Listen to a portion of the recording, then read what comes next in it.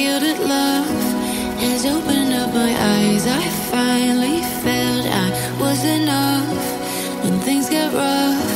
I promise and I made.